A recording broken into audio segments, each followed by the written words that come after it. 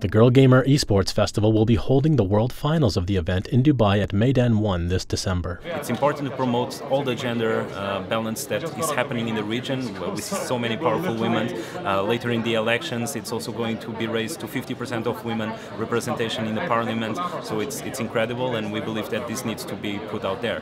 Girl Gamer Esports strives to provide a comfortable and safe space for women to grow their gaming skills and have fun doing it. We think that there's a lot of um, uh, barriers that women need to go over in order to even start competing at the same level, and this involves um, online discrimination, online bullying.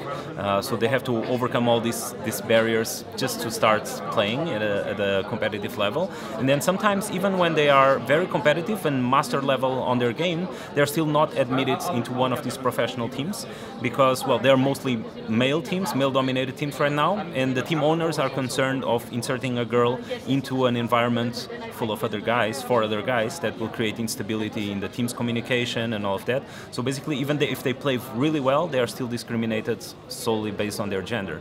Paul Roy, CEO of local gaming organization Galaxy Racer Esports, is optimistic that the talent pool in this region will greatly benefit from this event. Uh, women account for about a third of all gamers globally, and account for about 40% of all esports viewing.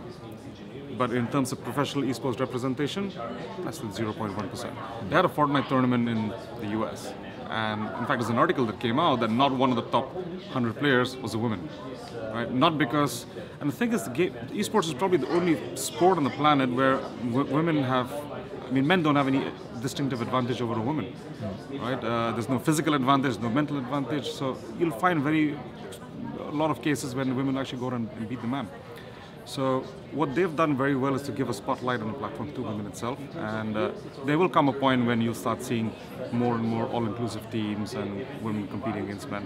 It's already started. There are a few professional organizations in the U.S. that have started to bring in uh, female players onto their roster.